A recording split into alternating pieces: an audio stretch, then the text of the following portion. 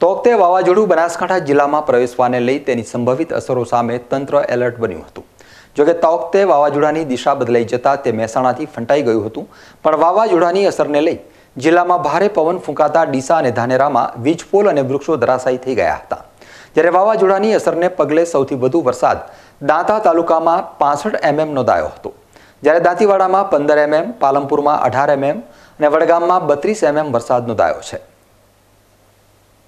બનાસકાંઠા જિલ્લામાં હવામાન વિભાગ તરફથી ગઈકાલ રાત્રે તોકતે વાવાઝોડાની આગાહી કરવામાં આવી હતી, પણ સદનસીબે કુદરતી વાવાઝોડાની દિશા બદલાતા મહેસાણું મહેસાણા ખીરાલુ બાજુ એની દિશા બદલી હતી.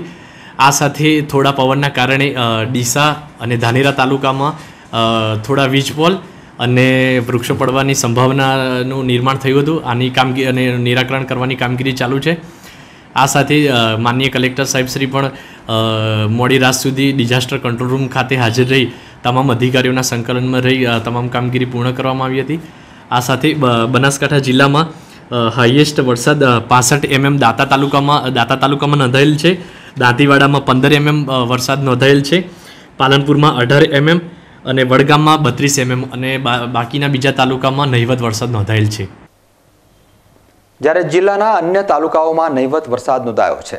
જિલ્લામાં ઝાડ પડવાના કે વીજપોલ પડવાના છૂટાછવાયા બનાવો બન્યા છે, જ્યારે ખેતીમાં મોટા પાયે નુકસાનની ભીતિ સેવાઈ છે.